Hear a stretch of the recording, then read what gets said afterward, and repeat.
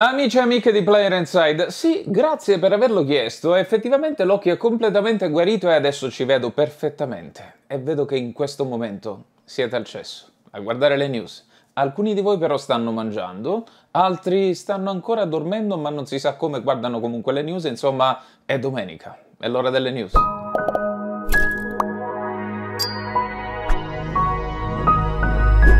Uccio, sì sì, alla fine quel gioco lo prendo, eh. E mettimi da parte anche quella Collectors, sì, sì, sì. Senti però fammi lo sconto, eh. Anzi, lo scontuccio.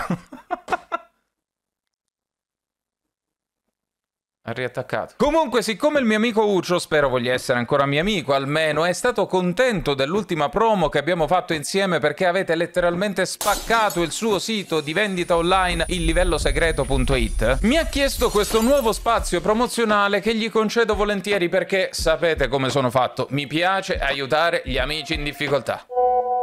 Scusate un attimo. Ma quale difficoltà, quale cose per fortuna vanno a gonfie vele e soprattutto non mi hai aiutato tu di tua spontanea volontà, ti ho corrotto io palesemente con due Collector's Edition che cercavi. Sì, ok, Uccio, ok, ok.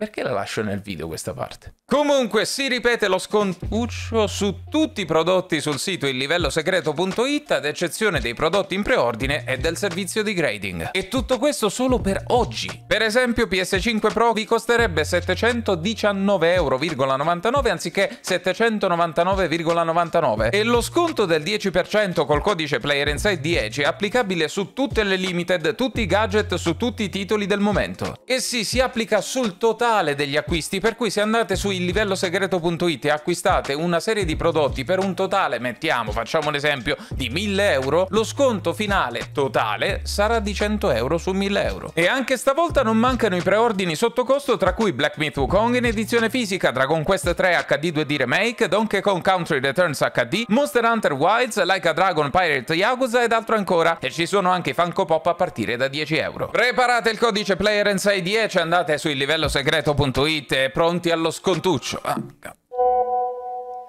Oh Giallo, non è che hai detto di nuovo scontuccio, eh, nel video, vero? No. Perché stavolta vado di denuncia, eh? No, no, no non l'ho detto.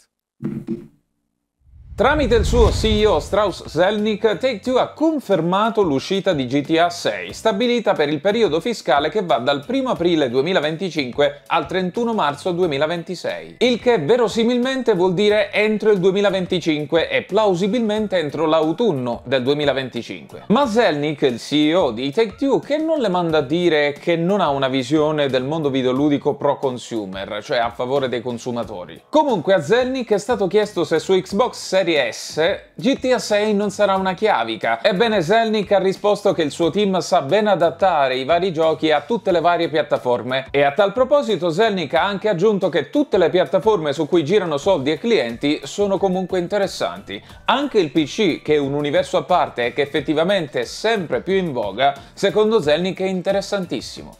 Ma allora perché non far uscire GTA 6 al day one insieme alle versioni console? Lo sappiamo tutti perché. Annunciati i finalisti per i Golden Joystick Awards per il premio Ultimate Game of the Year. Si tratta dei giochi che state vedendo qui in sovraimpressione, sì insomma ci sono i giochi più importanti di quest'anno, anche se mi dispiace vedere Dragon Age The Veilguard che ho bocciato in recensione e non vedere Like a Dragon Infinite Wealth. Comunque sono gli utenti a votare e scopriremo il vincitore il 17 novembre. Attenzione questo premio non è da confondere con i The Game Awards veri e propri che ancora non hanno annunciato né le categorie né i nominati e secondo me me quest'anno ci sarà da divertirsi. Nella settimana appena trascorsa ed è uscito a tal proposito un nostro salottino sul secondo canale Player Inside 2, canale al quale vi invitiamo caldamente ad iscrivervi, il presidente di Nintendo Shintaro Furukawa ha dichiarato che Nintendo Switch 2 sarà annunciato entro e non oltre il 31 marzo 2025 e che sarà retrocompatibile. Non si sa ancora se questa retrocompatibilità avverrà tramite supporto fisico, quindi cartucce da inserire in un apposito slot a parte oppure nello stesso slot opportunamente scanalato apposta per fare inserire le cartucce di Nintendo Switch e di Nintendo Switch 2, oppure se tale retrocompatibilità riguarderà i giochi per Nintendo Switch 1 ma soltanto in formato digitale scaricabile. E a tal proposito immagina intanto come deve essere lo sfondo rosso con questa felpa rossa, vi starà veramente mantenendo come minimo l'epilessia. E a tal proposito, su come sarà la prossima console di Nintendo, che per adesso chiameremo ancora per comodità Nintendo Switch 2, si è discusso della sua natura ibrida. Potrebbe non essere una console portatile da casa come adesso è Switch? Ebbene, uno dei dirigenti di Nintendo, Ko Shiota, ha affermato, parlando agli investitori, che la fusione tra console domestiche e console portatili ha permesso a Nintendo di integrare quelli che prima erano due ambienti di sviluppo software separati e che l'intenzione della casa di Kyoto è quella di mantenere una base simile per gli ambienti di sviluppo in futuro. Insomma, signori, non c'è l'ufficialità né sul nome né su come sarà questa benedetta console, però considerando che Nintendo vuole mantenere anche il servizio Nintendo Switch Online,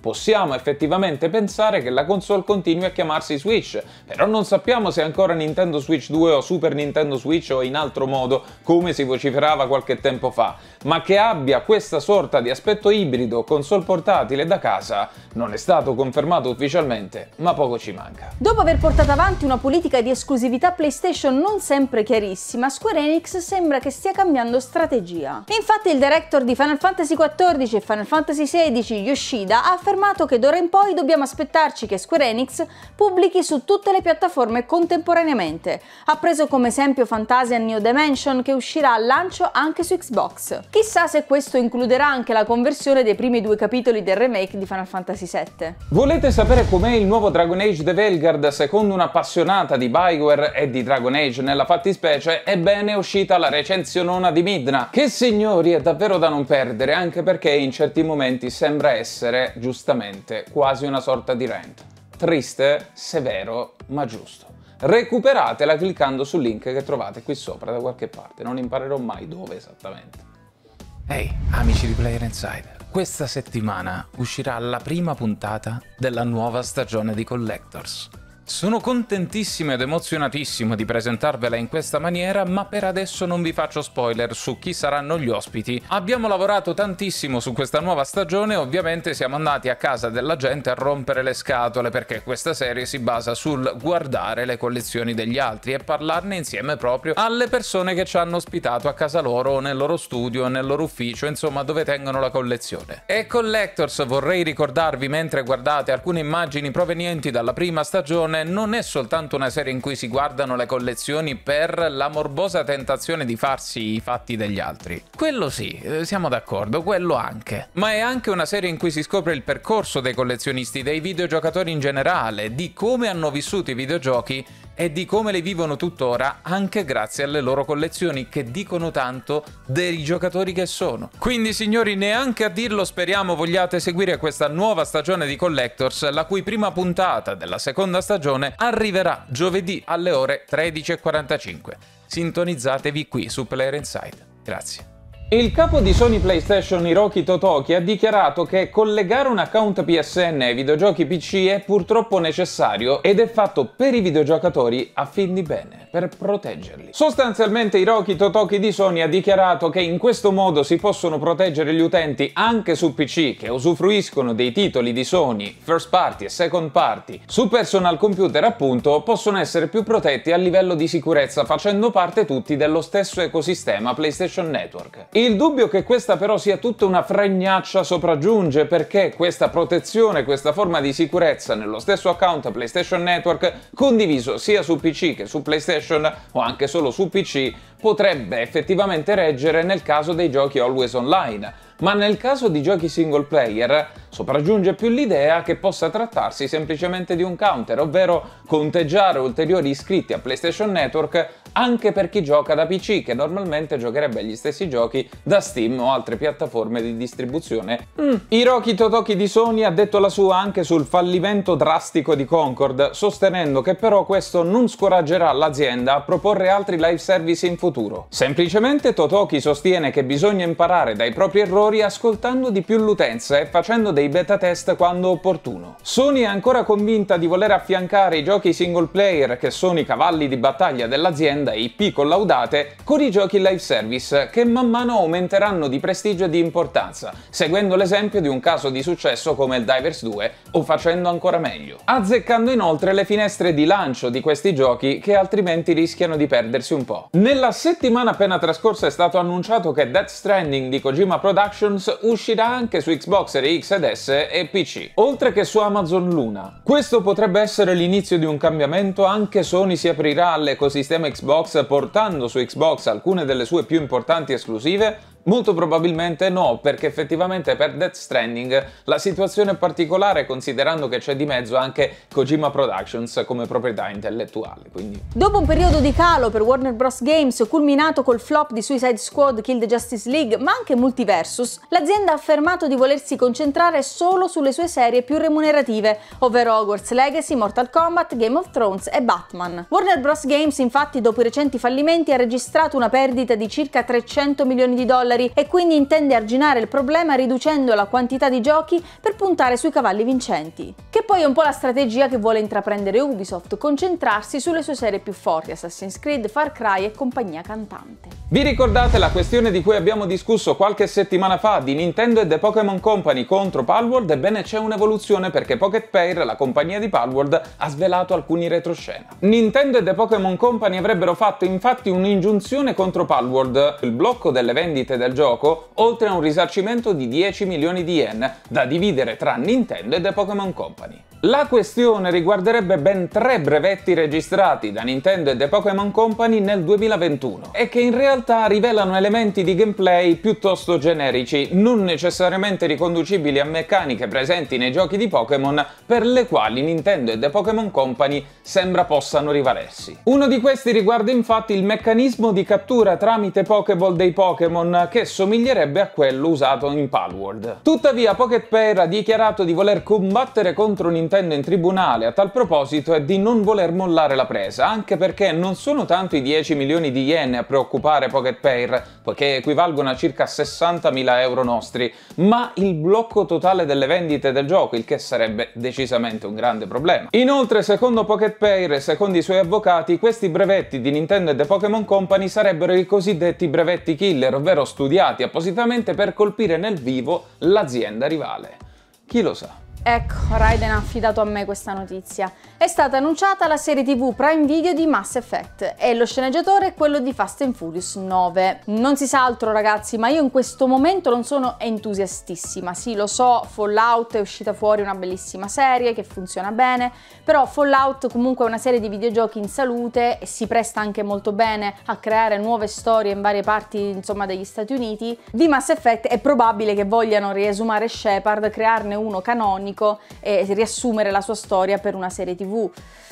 Spero non sia così, ecco, vedremo. Sappiamo bene che cosa sta passando Ubisoft in questo periodo, ad alcuni dispiace, ad altri manco per il cazzo. Comunque una cosa è sicura, Assassin's Creed Shadows è stato rinviato al 14 febbraio 2025 e in occasione dei BAFTA, ovvero le premiazioni inglese per film, televisione e arte in generale, il capo di Assassin's Creed Mark Alexis Coté ha rilasciato delle dichiarazioni in merito alla storia del presente. Secondo lui, dopo l'archiviazione della storia nel presente che vedeva come come protagonista Desmond Miles, l'interesse per i fatti narrati nei giorni nostri è decisamente calato, poiché si trattava di storie di circostanze che non hanno avuto lo stesso impatto e che al massimo ponevano il giocatore dinanzi ad una sorta di situazione di controllo su reliquie antiche da parte di templari da un lato e assassini dall'altro. Ebbene, sembra che con Assassin's Creed Shadows si voglia riportare l'attenzione sulla storia del presente, ripristinandola e dandole dignità, in modo tale da coinvolgere maggiormente i giocatori che nella nella storia del presente ormai non vedevano più giustamente alcun mordente. E questo è interessante, signori, anzi, interessantissimo. Inoltre Cote ha dichiarato anche che Assassin's Creed Shadows è stato rinviato anche per via di ciò che era successo dieci anni fa con Assassin's Creed Unity, ovvero il gioco era stato reso disponibile al lancio ma con un sacco di bug che ne avevano minato la bontà. E si era parlato soprattutto dei bug, lo avevamo fatto anche noi, mentre in realtà è uno dei capitoli più riusciti sotto sotto, ma funestato da talmente tanti bug che tutto sommato passava la voglia di giocarci, almeno al lancio. E quindi Cote ha voluto far capire che Ubisoft non vuole ripetere gli errori commessi con Assassin's Creed Unity al lancio. Ora, viene da pensare, ma se Assassin's Creed Shadows sarebbe dovuto uscire praticamente adesso, si sono accorti ad ora che ci sono questi bug e queste cose che non vanno? A me sembra un po' una scusa, però senz'altro il proposito è lodevole. Anzi, sostiene Cotea, Assassin's Creed Shadows dovrà far ricredere tutti i detrattori di Ubisoft in merito alla qualità della serie e dei prodotti Ubisoft in generale. Megoglioni. Thomas Mahler, autore di Ori, ha scritto un lungo post su X in cui si è detto molto stupito e dispiaciuto per la scrittura di Dragon Age The Veilguard, definendola infantile, terribile, sterile e disumanizzata. Non si spiega come all'improvviso una cosa del genere possa essere considerata accettabile e ha definito gli scrittori di BioWare incompetenti che non dovrebbero fare questo mestiere. Beh, parole forti Mahler, ma io sostanzialmente sono d'accordo e ne ho parlato ampiamente anche in recensione. Se ci facciamo andare bene Dragon Age The Veilguard rischiamo di andare incontro ad un'era videoludica molto buia. Annunciata la data per l'Early Access di Inzoi, il nuovo The Sims coreano. Il gioco avvierà il suo accesso anticipato il 28 marzo 2025, quindi ci sono ancora un po' di mesi davanti. Speravo uscisse per Natale, per adesso dovremo accontentarci dell'editor del personaggio che è gratuito su Steam. Una bella notizia per la serie Yakuza che adesso si chiama Like a Dragon, infatti Sega ha annunciato che la serie ha superato le 27 milioni di copie vendute in tutto il mondo. Certo stiamo parlando di molti capitoli usciti, ma si tratta comunque di una serie di nicchia che man mano sta venendo conosciuta e apprezzata da un pubblico sempre più vasto. E visto che Sega è in vena di buone notizie, in questo caso di conferme più che altro, apprendiamo che ci sono diverse serie classiche in sviluppo attualmente. Confermati Crazy Taxi, Jet Set Radio, Streets of Rage, Shinobi e adesso anche un nuovo Virtua Fighter in fase di sviluppo. Cos'è il mio compleanno? Ecco i giochi che si aggiungono al Game Pass nella prima metà di novembre. Per quanto riguarda il Game Pass standard abbiamo Gomeka Ball, Harold Halibut, The Rewinder e Turnip Boy Robs a Bank, tutti già disponibili. Invece per il Game Pass Ultimate abbiamo Metal Slug Tactics, Goat Simulator già disponibili e dal 19 novembre Microsoft Flight Simulator 2024. A partire dal 14 novembre su Epic Game Store sarà completamente gratuita la raccolta Castlevania Anniversary Collection, avete una settimana di tempo per farla vostra. E adesso la sottorubrica preferita da tutti, in particolare da tutti quelli che oggi soffriranno dello scontuccio.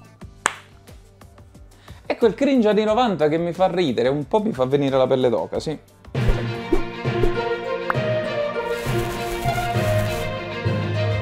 Ansiosi per l'uscita di GTA 6, anzi ansiosi per l'uscita del secondo trailer di GTA 6, beh lo siamo un po' tutti, sì, questa non è razionalità, ma tant'è. Ebbene alcuni fan avrebbero calcolato la data d'uscita del secondo trailer del gioco guardando la luna. E adesso una nuova immagine che vedete qui di seguito mostrerebbe nuovamente una luna gibbosa calante con alcune macchie lunari che formerebbero un 5 e un 1, ovvero il numero 6 romano. E quindi in base a questi calcoli calcoli il secondo trailer di GTA 6 dovrebbe arrivare il 17 novembre 2024, anche se in realtà Rockstar di queste sparate ce le ha. Non si fotte con Nintendo, ma alcuni ci fottono comunque bellamente. È il caso dello streamer Every Game Guru che non solo avrebbe streamato usando copie pirata di giochi Nintendo Switch, ma avrebbe invogliato anche la sua utenza a usarli, fornendo link e suggerendo i modi per poter usare emulatori e ROM. Nintendo neanche a dirlo lo ha ufficialmente denunciato, ma lui di tutta risposta ha voluto sfidare Nintendo, sostenendo di avere circa un migliaio di canali secondari da cui streamare e di poterlo fare tutto il giorno. Allora, amico mio, intanto non hai capito che con Nintendo non si fotte e già ci hai fottuto bellamente, tant'è vero che ti è arrivata la denuncia ufficiale, potresti finirla qui e moderare i danni ma non sai neanche che quando ti bannano da una piattaforma ti bannano anche tutti i possibili canali che tu puoi creare qualora ti venisse chiuso uno dei canali per motivi così gravi come copyright infringement. Eh? Amico mio, botte con Nintendo perché loro sanno dove fotterti e questo è il punto. PS5 Pro magari non l'avete acquistata, magari non l'avreste comunque fatto e magari siete proprio in questo momento sotto qualche recensione a parlarne male, ma saprete senz'altro che molti bagarini l'hanno rivenduta al rialzo nei giorni scorsi. Ebbene, poiché non c'è più tutta questa richiesta di PS5 Pro e poiché le scorte sembrano essere ben fornite da parte di Sony, tant'è vero che sembra essere rimasta invendute in molti negozi, i bagarini sembra che in alcuni casi la stiano vendendo vendendo in perdita rispetto a quanto l'hanno acquistata. Madonna come godo ragazzi! Questa domenica d'improvviso è diventata straordinaria! Acchiappatela nel culo, bagarinazzi! Nel culo! Donkey Kong Country 2 Diddy's Kong Quest per Super Nintendo dopo 29 anni fa saltare fuori un nuovo cheat code che permette di uscire dal livello in cui si è per tornare alla mappa principale in qualsiasi momento. Il cheat code è stato scoperto dopo quasi 30 anni appunto dall'utente TNKT Kong su X e si effettua premendo contemporaneamente questi tasti che state vedendo in sovraimpressione durante la pausa. E queste sono le cose belle dei giochi di una volta, che ancora dopo quasi 30 anni continuano a cicciare fuori tesori segreti.